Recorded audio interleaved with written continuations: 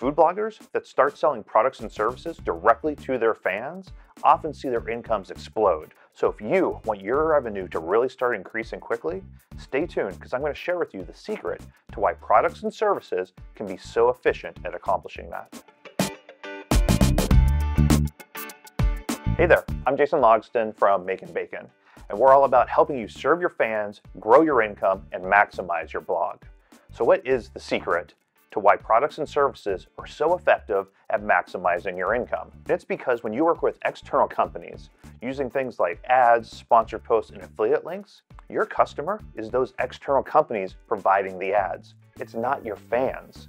So you can try to provide a lot of value to your fans, but at the end of the day, your customer and the person you're really trying to serve are these external companies that are trying to distract your readers from the content you're providing them.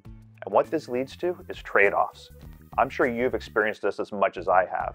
Putting up a sponsored post that doesn't provide quite as much value as you were hoping, having a page that's a product review only to get the affiliate link up there, or even just putting ads on your site, which you know is breaking up the reader experience, distracting them from the amazing content you're trying to provide. When you are creating products and services to sell directly to your fans, your customers are your fans. This means everything that you're doing is focused on providing value for them.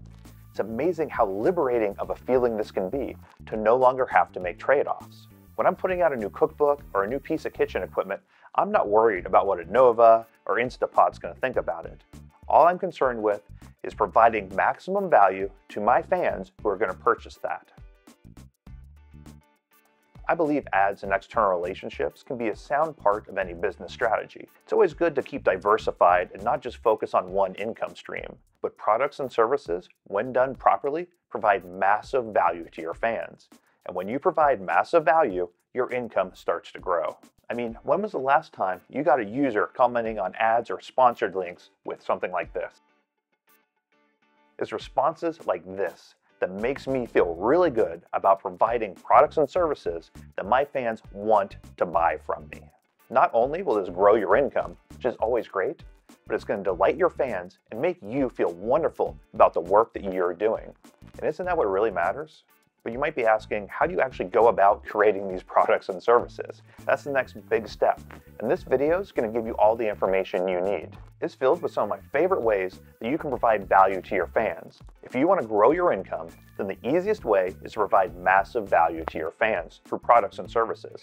And this video is going to help show you how it can be done.